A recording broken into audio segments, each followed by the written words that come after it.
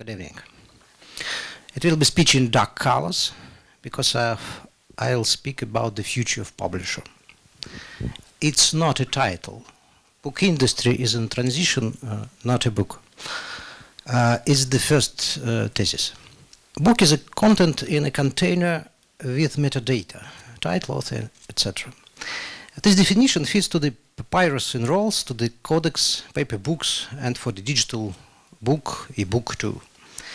Materials of container can change, structure of content can change, and even the rules of metadata can change. But a book itself doesn't change at all. Because of its function for culture, preservation and translation of information and senses rests the same. But the industry changes. Now some boring data from my country. As a publisher, I see the long trend of decline, which is not connected to the economic crisis, not directly in any case. From the beginning of century, we could see the slow diminution of book production in terms of print run. The whole book production in Russia diminished by near the 23% uh, for 11 years, and for 30% from the best year in the modern history of the Russian book industry.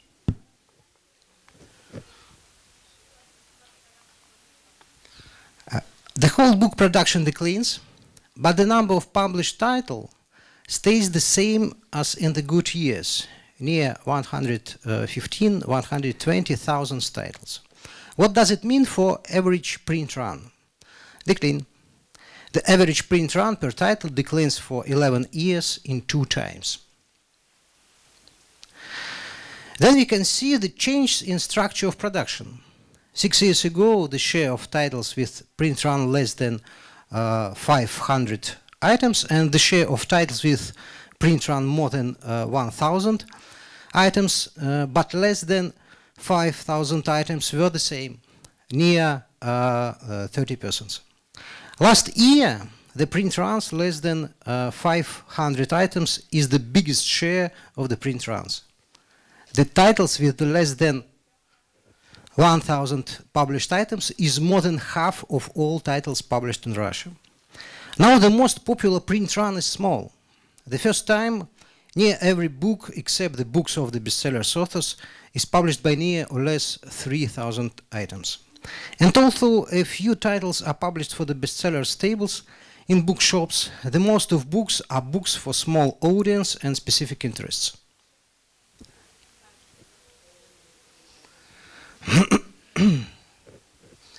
what happened?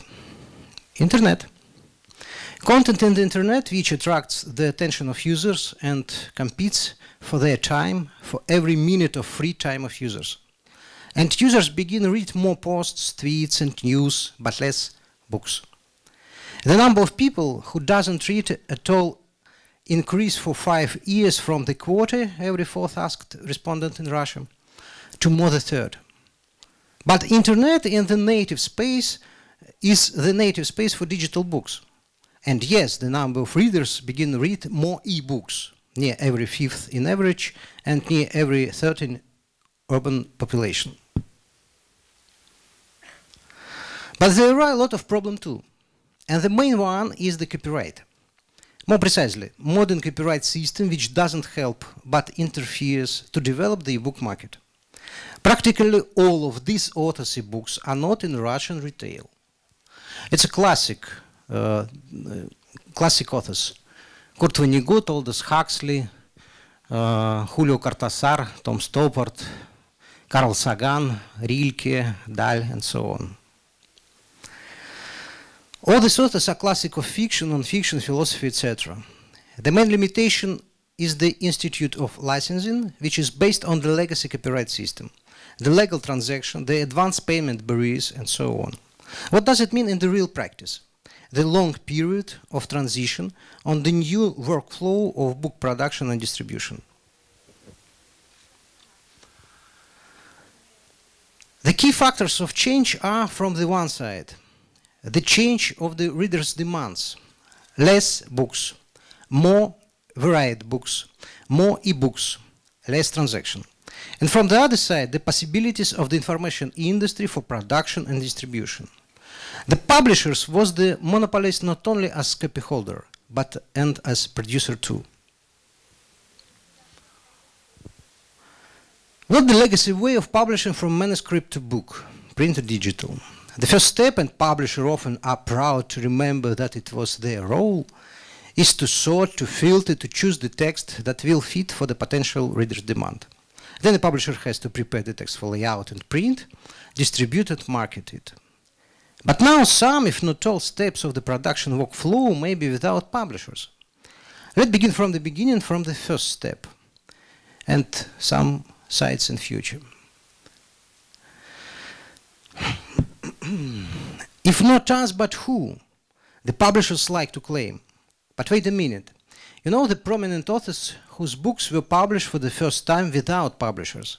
Benjamin Franklin, Ezra Pound, Emily Dickinson, Marcel Proust, Jane Austen, Thomas Paine, Edgar Rice Burroughs, Walt Whitman, Nathaniel Hawthorne, Stephen Crane, and so on. You could name other names. These examples demonstrate that the publishers have no monopoly on the best market decision. Their position as decision makers is founded only on their monopoly on the print run. Obsolescent monopoly, which really fails with spinning off varied services like Amazon Scout, Pentian.com, Unbound.co.uk, and PubSlush.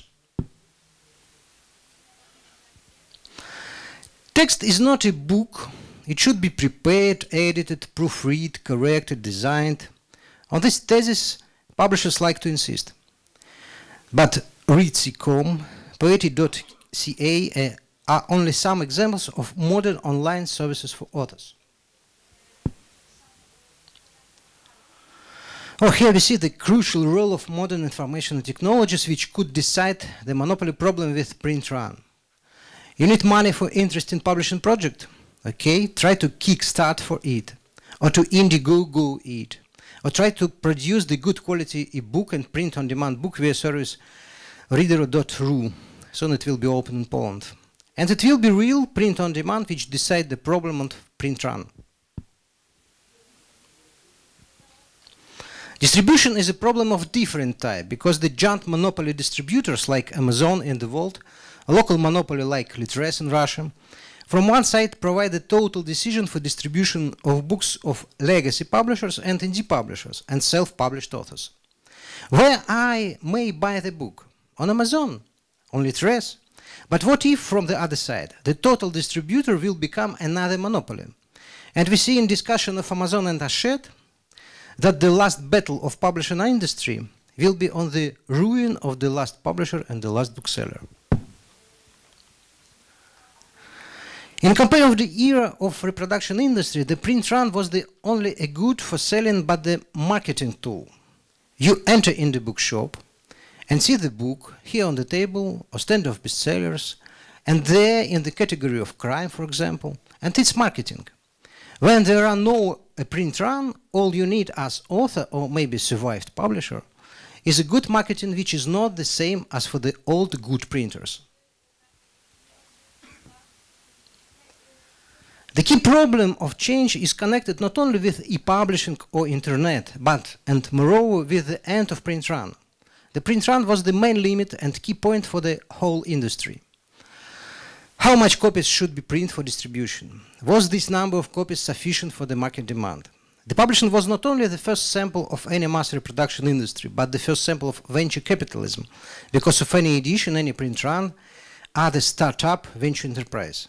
Now, any print run in potential has not real limitations with the emergence of internet and free of cost copying, e-publishing, and sharp decline of production costs for paper book production. What was a publisher in the industrial period of history? He was a printer, owner, and seller of thousands of published books. Now he is not.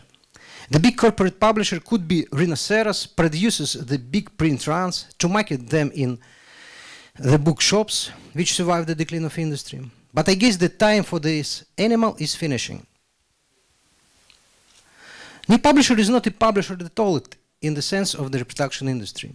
He or she doesn't insist on the monopoly of the print run at warehouse of books.